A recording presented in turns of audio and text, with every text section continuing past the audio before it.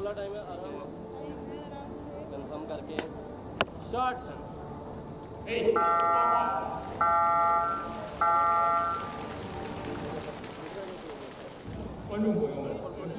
Finishing देनी है। Short ten है।